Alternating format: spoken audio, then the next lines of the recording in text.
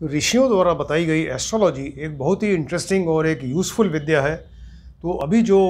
Topic चल रहा है, वो सिक्स हाउस से रिलेटेड चीज़ें बता रहे हैं आपको। तो सिक्स हाउस कुंडली का जो छठा स्थान होता है तो उसमें रोग यानी डिसीज़ के बारे में बताया जा रहा है। तो डिसीज़ से रिलेटेड जो सब्जेक्ट है मेडिकल एस्ट्रोलॉजी मेडिकल एस्ट्रोलॉजी से रिलेटेड सब्जेक्ट पे डिस्कशन चल रहा है। उसी रिलेशन में आज ये आपको बताएँगे कि काल पुरुष की बारह राशियाँ होती हैं। तो बारह राशियाँ हैं और कुंडली में बारह हाउसेज होते हैं राइट तो बारह हाउसेज हैं ब्रह्मांड में और बारह राशियाँ हैं।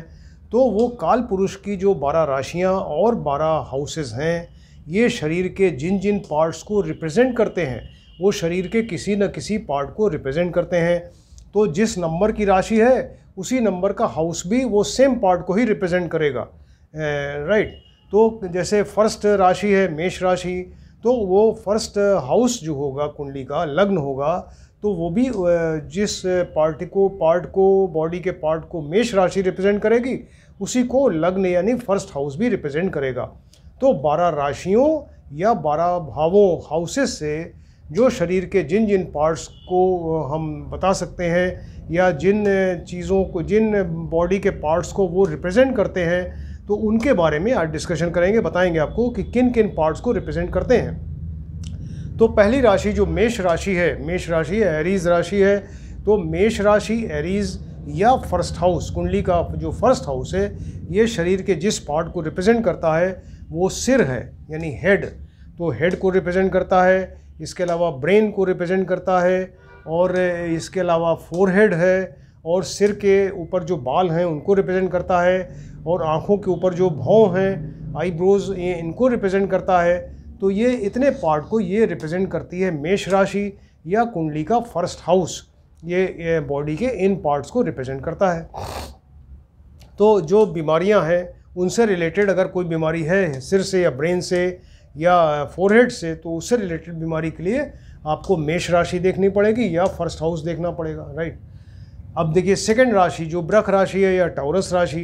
तो ब्रख राशि टाउरस राशि या कुंडली का जो सेकंड हाउस है तो सेकंड हाउस ये ब्रख राशि एंड सेकंड हाउस वो बॉडी के जिन पार्ट्स को रिप्रेजेंट करता है, वो चेहरा है, इंसान का फेस तो चेहरे को रिप्रेजेंट करता है और चेहरे पे आँख है, नाक है, मुँह है, मुँह के अंदर दांत हैं और जीभ, टंग है तो इसके अलावा गाल हैं चीक्स और जबड़ा है इंसान का और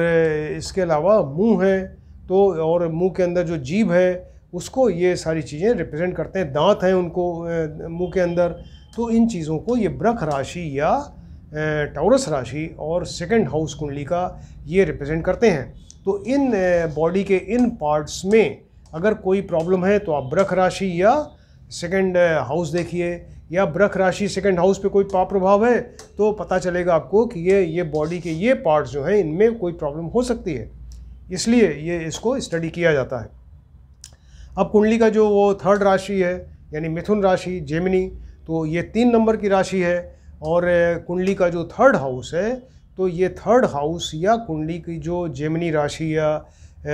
तीन नंबर राशि, मिथुन राशि है तो ये ये गर्दन को रिप्रेजेंट करते हैं गले को रिप्रेजेंट करते हैं, गले के अंदर जो ट्रैकिया है, उसको रिप्रेजेंट करते हैं सांस की नली ट्रैकिया को रिप्रेजेंट करेगा। इसके अलावा ये गले में यहाँ पर थायराइड ग्लैंड है तो उसको रिप्रेजेंट करता है और इसके अलावा ये आर्म को भी रिप्रेजेंट करता है। पूरी आर्म जो है, ये भुजा तो कंधा और शोल्डर और इसके अलावा आर्म। तो इसमें ये मतलब गर्दन में, गले में, ट्रैकिया में, थायराइड ग्लैंड में और इसके अलावा आर्म में अगर कोई प्रॉब्लम है सर्वाइकल बोन में सर्वाइकल बोन जो होती है कॉलर बोन तो इसमें अगर कोई प्रॉब्लम है तो आपको फिर मिथुन राशि या थर्ड हाउस देखना पड़ेगा, या मिथुन हाउस और मिथुन राशि या थर्ड हाउस पे अगर कोई आप देख रहे हैं, पाप ग्रहों का युति है, दृष्टि है, कुछ पाप प्रभाव है तो ये बॉडी के ये जो पार्ट्स बताए आपको, इसमें कोई रोग हो सकता है राइट अब कुंडली का फोर्थ राशि देखिए। फोर्थ राशि में यानी कैंसर राशि, कर्क राशि तो ये चार नंबर की राशि और कुंडली में जो फोर्थ नंबर का हाउस है तो ये सेम बॉडी के पार्ट्स को रिप्रेजेंट करते हैं दोनों। तो ये ये देखिए, ये छाती है, यानी चेस्ट, ये व्यक्ति की छाती चेस्ट को रिप्रेजेंट करते हैं छाती के अंदर। लंग्स हैं, लंग्स के ऊपर एक कवरिंग है, प्लूरा, उसको रिप्रेजेंट करेगा। इसके अलावा ये जो सांस की नली, यहाँ ब्रोंकस है ब्रोंकस है, ब्रोंकियोल्स हैं और ये जो लंग्स हैं लंग्स के ऊपर प्लूरा हो गया और इसके अलावा ये जो एक रिब केज जो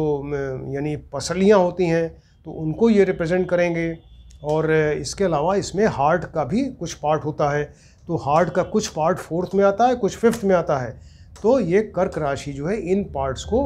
या फोर्थ हाउस इन पार्ट्स को रिप्रेजेंट करता है। यानी कुंडली में अगर कर्क राशि या फोर्थ हाउस पे अगर पाप प्रभाव है तो बॉडी के ये पार्ट्स जो हैं इनमें प्रॉब्लम हो सकती है या इनमें कोई रोग होगा राइट अब से जो नेक्स्ट राशि है, सिंह राशि, लियो राशि तो ये पाँच नंबर की राशि है तो पाँच नंबर की राशि या पाँच नंबर का हाउस तो ये सेम बॉडी के पार्ट्स को रिप्रेजेंट करते हैं। तो इसमें ये जो चेस्ट के नीचे का पेट और अम्बिलाइकस यहाँ पर है, नाभि है तो नाभि और ये जो इसमें जो चेस्ट का नीचे का जो पार्ट है रिब्स है, पसलियों के नीचे और रिब्स के ऊपर के ये सॉरी अम्बिलाइकस के ऊपर का जो पार्ट है पेट का, यानी रिब्स के नीचे और अम्बिलाइकस के ऊपर का जो पार्ट है एब्डोमेन का, उसको रिप्रेजेंट करता है। तो इसमें स्मॉल इंटेस्टिन भी आएगा लार्ज इंटेस्टिन भी आएगा। इसके अलावा लिवर है स्प्लीन है गॉल ब्लैडर है, ये ये ऑर्गन्स भी इसमें आते हैं राइट और इसके अलावा ये हार्ट जो आपको बताया हार्ट का कुछ पार्ट कर्क राशि कवर करता है। या फोर्थ हाउस और बाकी जो है ये सिंह राशि या इसमें फिफ्थ हाउस जो है ये कवर करते हैं। तो अगर फिफ्थ राशि या फिफ्थ हाउस में कोई प्रॉब्लम है, उसमें पाप ग्रहों की युति दृष्टि है, ये वीक है, इनके ऊपर पाप प्रभाव है तो ऐसे केस में फिर ये बॉडी के जो पार्ट्स आपको बताए तो उन पार्ट्स में कोई रोग होगा डिसीज़ होगी या वो उसमें कोई कष्ट होगा प्रॉब्लम होगी राइट अब ये जो छठी राशि है, सिक्स राशि, यानी कन्या विरगो राशि तो विरगो राशि या कुंडली का जो सिक्स हाउस है तो ये ये सेम बॉडी के पार्ट्स को, ये इन दोनों से सेम पार्ट्स ही रिप्रेजेंट होते हैं। तो इसमें कन्या राशि या जो ये सिक्स हाउस है, इससे कमर, यानी वेस्ट व्यक्ति की कमर ये इससे रिप्रेजेंट होती है। इसके अलावा पीठ जो बैक है, उसका पार्ट वर्टिब्रल कॉलम का जो पार्ट आ रहा है इसमें, वो आएगा। इसके अलावा एब्डोमेन का पार्ट अम्बिलाइकस आएगा और अम्बिलाइकस के नीचे का जो पार्ट है एब्डोमेन का थोड़ा पार्ट इसका ये भी आएगा। इसके अलावा इसमें अपेंडिक्स अपेंडिक्स आपने सुना होगा। तो अपेंडिक्स यहाँ पर ये रहती है। अपेंडिक्स भी इसमें आएगा। और इसके अलावा इसमें किडनी गुर्दा जो है, वो किडनी आएगा। और इसमें जो बैक का पार्ट है पीठ तो पीठ का भी कुछ पार्ट आएगा। तो फिर से आपको बताते हैं, कन्या राशि वर्गो राशि या कुंडली का सिक्स हाउस, जिन बॉडी के पार्ट्स को रिप्रेजेंट करते हैं तो वो हैं, एक तो इंटेस्टिन हो गया, यानी रिब्स के इसमें अम्बिलाइकस और अम्बिलाइकस के नीचे नीचे का जो पार्ट है एब्डोमेन का तो वो इसमें आता है। इसमें स्मॉल इंटेस्टीन लार्ज इंटेस्टीन और अपेंडिक्स ये आएगा। इसके अलावा इसमें किडनी आएगी और गुर्दा और